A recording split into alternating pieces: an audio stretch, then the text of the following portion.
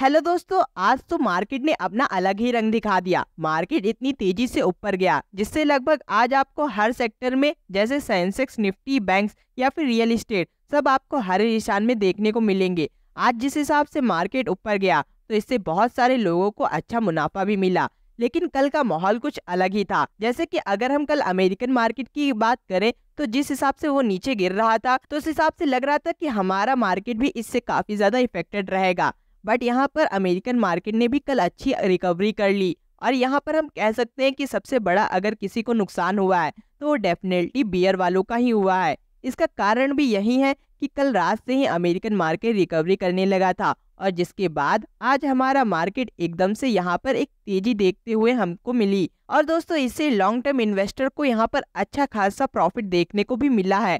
और अगर हम बुल वर्सेस बियर की बात करें तो अभी के लिए फ़िलहाल तो बियर वाले लॉस पे जाते हुए देखने को मिल रहे हैं।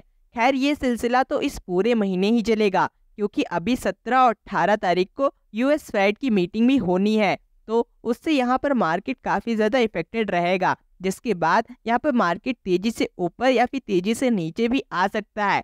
फ़िलहाल अगर हम ग्लोबल मार्केट की बात करें तो वो भी अभी ग्रीन सिग्नल पर हमें देखने को मिल रही है। तो बियर वाले फ़िलहाल वेट करके रखें, क्योंकि अभी तो बाज़ार स्ट्रांग देखने को मिल रही है। अब दोस्तों, हम कुछ स्टॉक्स को भी कवर कर लेते हैं कि उनका परफॉर्मेंस कैसा है। तो पहले आता है नज़ारा टेक्नोलॉजी लिमिटेड या फ्यूचर ओरिएंटेड बिज़नेस में काम करता है। गेमिंग इंडस्ट्री में भी काम करता है बट सरकार बार बार गेमलिंग के ऊपर कुछ ना कुछ रिस्ट्रिक्शन लेकर आती रहती है। एंड इसी चीज़ के चलते हुए काफ़ी बार इसमें हम लोगों को बड़ी बड़ी गिरावट भी देखने को मिलती रहती है।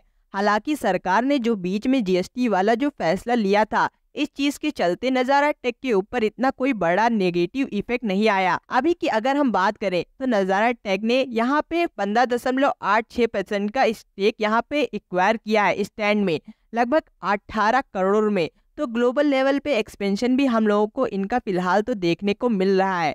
अगर हम बात करते हैं इंडियन एनर्जी एक्सचेंज लिमिटेड की तो दोस्तों, इसमें आपको दो प्रतिशत की तेज़ी देखने को मिलेगी। और इसके पीछे का भी रीजन है एंटी जो अभी सोच रहे हैं कि इसमें अभी 20 प्रतिशत का और भी अपसाइड देखने को हमें मिल सकता है। तो दोस्तों स्टॉक मार्केट पे नज़र बनाए रखने के लिए हमारे चैनल को ज़रूर सब्सक्राइब करें।